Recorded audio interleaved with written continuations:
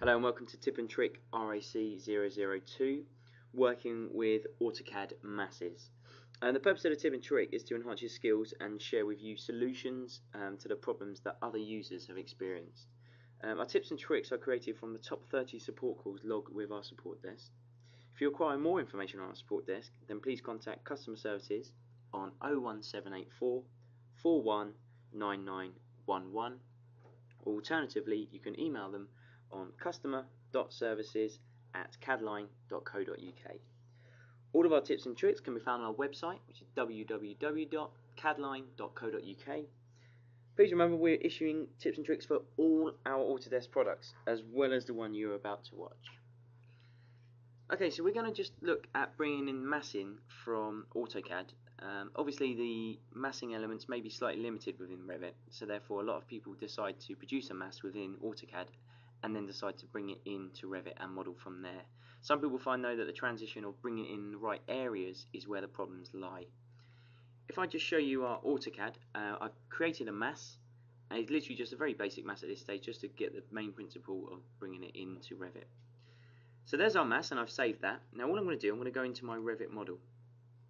If I just switch to my 3D view, I'm now just going to click on my massing tab at the bottom here.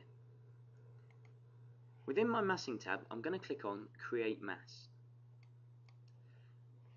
This little box will appear just to tell us that it's going to turn on our massing, as by default Revit turns our massing off. And we're just going to call this, and it gives you by default Mass 1. I'm just going to click OK on that. Now normally we'd click on solid form or void form, whichever one it may be you're choosing to, to model, and then you would choose your method of your modeling within these options here. Now in this instance I'm going to go into file and I'm going to click import link CAD formats. So I'm now just going to search for my file with my mass in it and there it is. Just going to bring that in. When that does, if I now hit ZE for zoom extents, that will give me my mass. So I can now orbit around in this. If I now click Finish Mass, we now find our mass, if you like, that came from AutoCAD has now turned into the mass that we may be more familiar with within Revit. I'm now able to treat this as as I would any other mass within Revit, apart from I'm not able to manipulate this, but I am able to add walls, floors, faces to, to parts of the mass. So if I click on wall by face, and now what I'm going to do, select from the drop down what type of wall I want to produce. I'm going to just choose the LWT wall. I'm going to click, click as we go round. We can then also go into our basics tab and just simply add in components like we would normally do. I can click on window